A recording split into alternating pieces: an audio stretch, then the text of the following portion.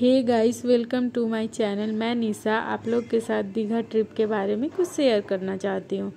सो so, चलिए start करते हैं। हम लोगों ने थर्टी फ़र्स्ट को गया था दीघा। वहाँ पे हम भैया भाभी और हमारे हस्बैंड जी सब मिलके गए थे। और भाभी का बाबू भी था छोटा सा बहुत बहुत ही प्यारा सा सुंदर सा।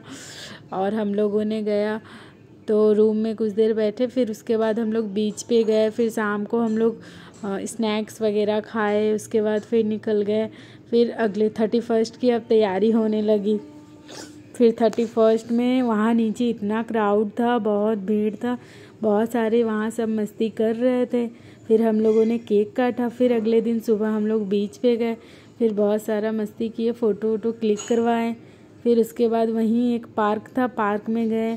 फिर वहाँ रोपवे पे गए, फिर बोटिंग में गए। बोटिंग किए हम लोग।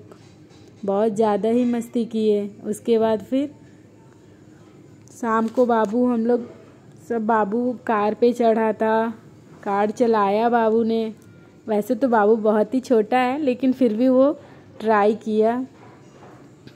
बस उसके बाद हम लोग फिर अगले दिन दो तारीख को हम लोग फिर वहाँ से चले आए।